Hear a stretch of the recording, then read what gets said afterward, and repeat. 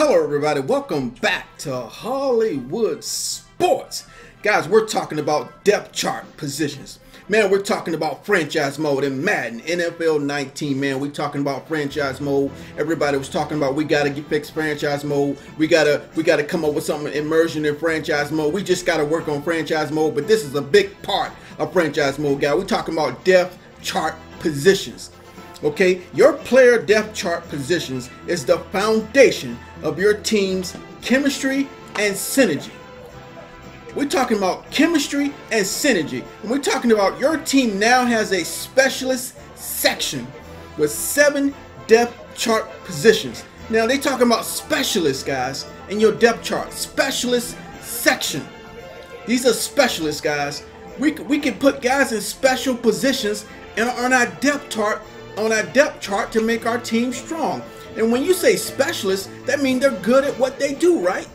When you say specialists, they're good at what they do. So your team now has special, I mean specialist section with seven depth chart positions. These positions ensure the right players are on the field in the right situations. Again, guys, it's, give, it's giving us control to put players in the right situation. When you got players in the right situation, players with the right archetypes, when you put a team together, you create chemistry and synergy. I think I talked about that before on, on one of my other videos. Chemistry and synergy. When you got synergy, you got a team working together. You got a little piece here, you got a little piece there, you got a little piece over here, you got a little piece over there. You put together a puzzle. You put together a organization. You put together a great team.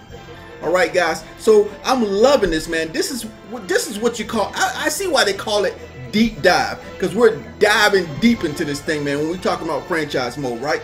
We're talking about specialist positions within the depth chart.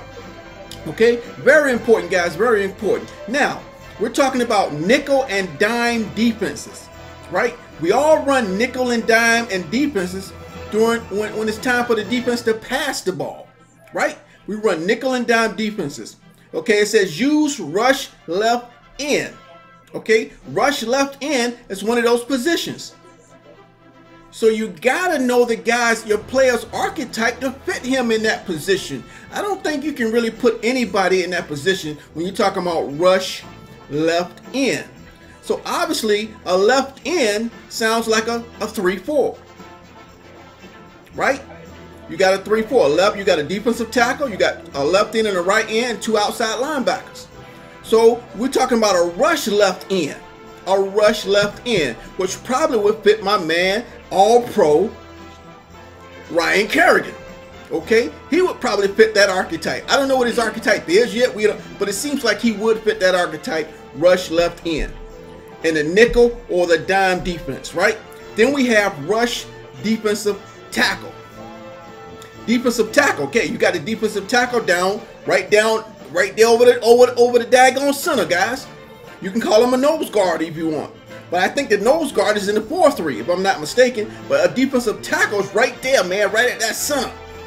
All right? So you got a rush defensive tackle that busts up through that middle to get to that quarterback.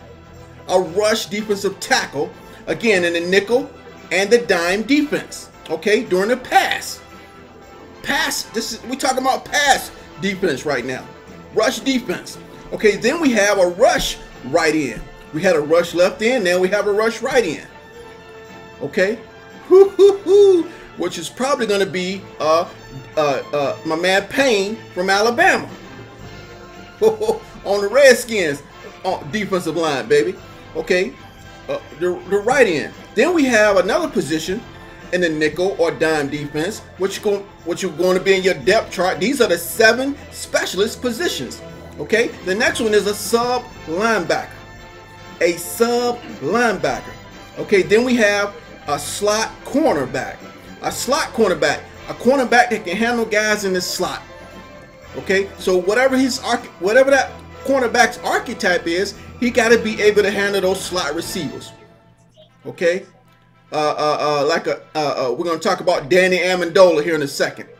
He's a slot receiver. Jamison Crowder for the Redskins is a slot receiver.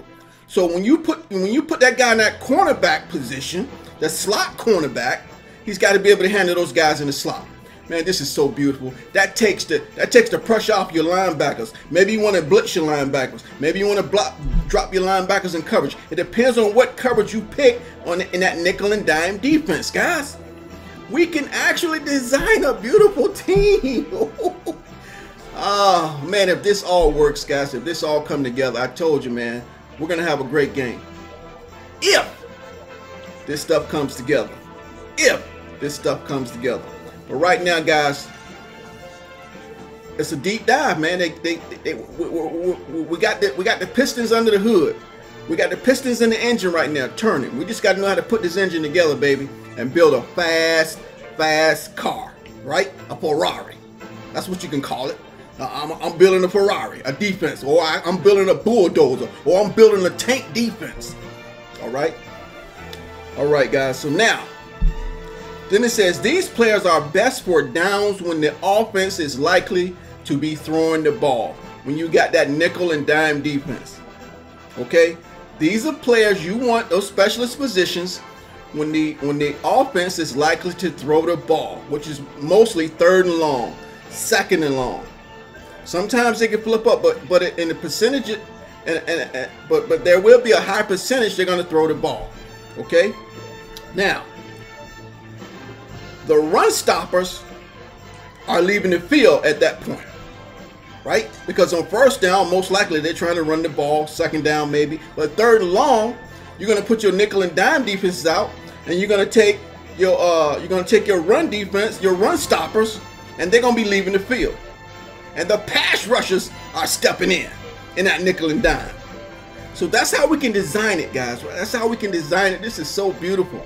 So those guys are to come into the game automatically. You know, a lot of times we we don't know how to do. Remember in the sliders, you do substitutions.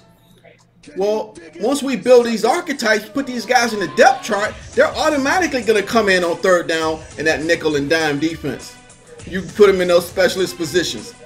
That rush, that rush left end, that rush defensive tackle, that rush right end, that sub linebacker, and that slot cornerback. Right? They're automatically going to come in. Some of those guys are going to already be in the game. But if you have, let's say you have, uh, uh, uh, let's say you have a uh, defensive tackle that's good to stop the run. His archetype saying he's a run stopper, right? But then, but on third downs, he's not a good pass rusher. Then you can bring that. Then you can bring in your rush left end or your right uh, uh, right end, or or, or or or your defense, your rush defensive tackle, right? Man, this is so great, guys. This is this is good stuff, man.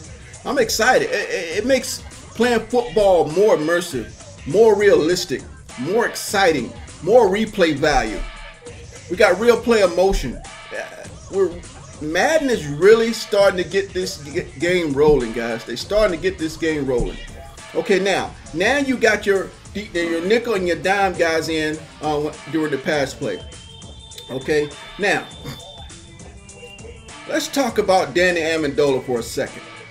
The slot receiver, the slot wide receiver depth chart position will be the best players on your team using the slot receiver overall. Again, like I said, Jamison Crowder. But in this instance, they're, they're talking about uh, Danny Amendola. Okay? This will ensure that players like Miami Dolphins, Danny Amendola, are used in the slot, but guys that are better outside will stay outside.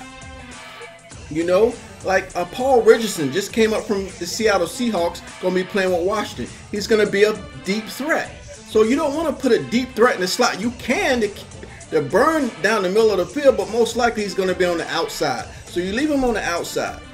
Now let's talk about power halfbacks for a second. Power halfbacks is used in goal line formation. This is another specialist position now Power halfback is used in the goal line formations and other heavy sets as your running back. He will be the best player on your team to tote the rock between the tackles using new power back overall. Okay? Great stuff, man. Great stuff. He's automatically going to come in on the goal line situation. All right? If you have an elusive back as your best halfback, and want to keep him in on goal line formations, just swap him in into the power halfback starting position.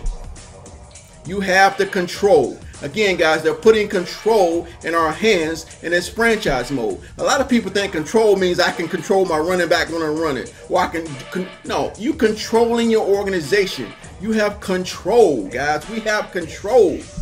Okay, now, let's talk about the third down running back, which is a guy like Chris Thompson for Washington. You know, Derrius Guice probably going to be the main guy in the backfield. But when it comes to third down, Chris Thompson's a great third down back. So he, I hope that's just part of his archetype. I'm thinking it would be. Now it's just a third down running back. Um, now uses the new receiving back overall. Oh, okay. Receiving back overall. Now Chris Thompson can't catch the ball out of the backfield. Because sometimes, man, you got to check it down. It might be third down, but hey, it's better than throwing that interception. If nobody was open, you go through your progressions. You look at your first wide receiver, your second wide receiver, your third wide receiver, whatever formation you're running or four or five wide. You leave that back in the backfield, and if you if you're not having you if you're not having them block, um, if you're not having them block, then you want to have them come out of the backfield. He could be that third down. He, uh, Chris Thompson's guys get break tackles. He can get in the open field, make stuff happen. So it's okay, it's okay to check him down as a receiving, a new receiving back overall. Okay, your third down running back will come in on third down for many formations. Some playbooks even have your third down running back come in on shotgun formations for other downs too. Okay, guys, again, we have control. We can we can make that third down back or put him in any formation that we want to. Okay, also, man, they even brought kick returners in and punt returners. Guys, hey, kick and they're also specialist positions, guys. Okay, now the CPU will use starters to return punts if their kick return rating is high enough. So we, we I think we already used to that. If we have guys like uh, you know, I had Chris uh, uh, uh, Crowder, Jamison Crowder on punt returns, even on kick returns sometimes, because he has that agility, he has that speed. Okay, so that's what they're saying. Starters return punts if their kick return rating is high enough. So they're gonna have a kick return rating, guys, is that's high enough, you can put them back there. It says this means that guys like Antonio Brown will be there doing the punts, but won't see the field during kickoffs. Okay, because of the, the kick, uh, uh, uh, the punt return uh, rating. So guys, the depth chart is the foundation when you put it all together. They have to be on a depth chart before they can get on the field. So every aspect of franchise mode has to be important. If you if you if you don't focus on one, it can screw up another one. You have to focus on your depth chart when we're talking about player ratings, guys. We just my my previous video, by the way, if you didn't see it, talking about player ratings, the link is down below. Click on that video, go check it out. Right after you finish watching this one, you can watch my previous video talking about player ratings.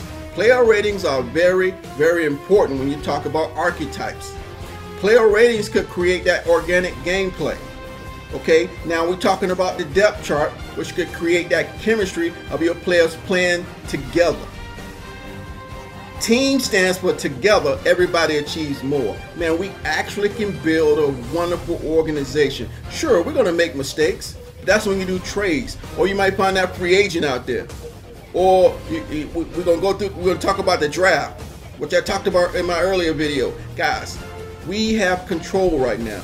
We have control. All right, guys. I hope you enjoyed the video talking about setting up our depth charts. It is the foundation of building a great team. And as always, hopefully, I will see everybody that's watching this video on my next video. Guys, I appreciate you get watching these videos, guys. I really appreciate it. Thanks for watching.